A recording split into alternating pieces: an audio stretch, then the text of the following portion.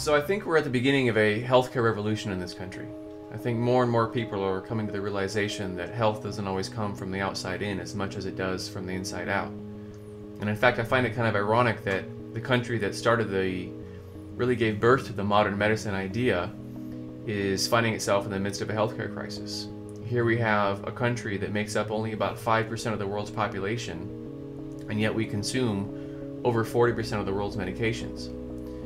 And so, this idea that if health really came through better chemistry, or health really came from a bottle, you'd expect the country that consumes the most medication to experience the best health. And the sad truth is that's that's really not what we're experiencing. We have higher rates of chronic disease and dysfunction in this country than we ever have in, in the past. And I think the problem really lies in the sense of how we're utilizing our healthcare.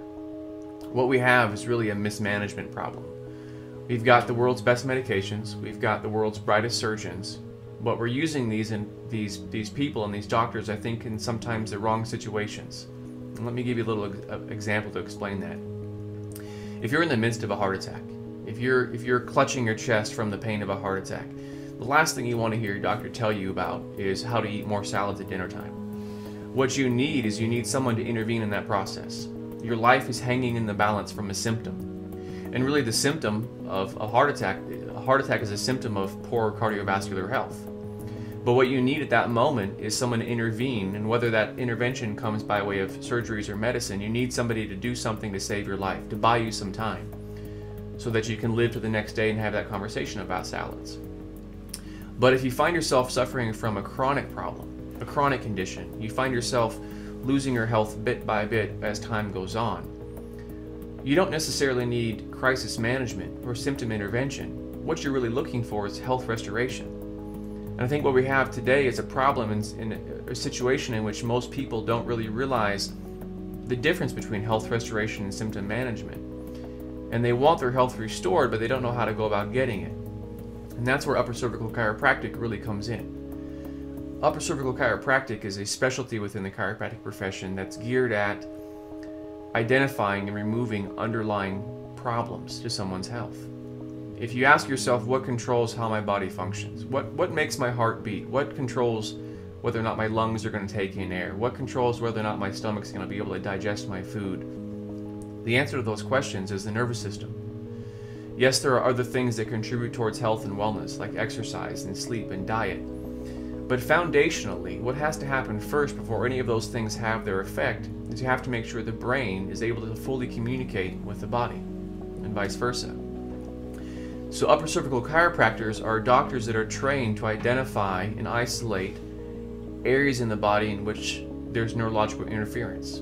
And the analogy that kind of paints that picture would be in your house, if you all of a sudden experienced lights going out in the kitchen or in the bathroom or in the dining room, and you had all these lights going out all at the same time, your next solution or your next step would probably be to go identify or go to look at the fuse box in the garage.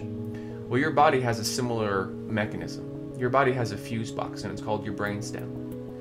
And your brainstem is really the part of the nervous system that's controlled or geared at controlling everything else. And upper cervical doctors evaluate the function of the brainstem with some pretty advanced technology called infrared thermography. And if we find a person's nervous system to not be functioning normally, the next step we're going to do is we're going to take some very specialized x-rays of the upper neck to see if there's a misalignment, an actual structural problem, interfering with that communication. Just like a fuse box in your house being out, it's going to affect the light bulbs in your kitchen or your bathroom. The same analogy applies for the body. If your brainstem is compromised in function, if you have a misalignment in your upper neck, slightly putting pressure irritating the nervous system at the level of the brainstem, any number of problems can result from that. So when patients come to see me, it doesn't really matter to me where their pain is or where their problem is or what they call their problem, whether it's vertigo or migraines or fibromyalgia. My job is to get their body to do its job, and that is to function normally and heal. And I do that by helping their nervous system to be in better control of how their body functions. And that doesn't happen from the outside and that happens from the inside out. So, what I tell my clients is you need to remember that your health doesn't always require more intervention. Sometimes what your health needs is less interference. And upper cervical chiropractic is how you can actually achieve that.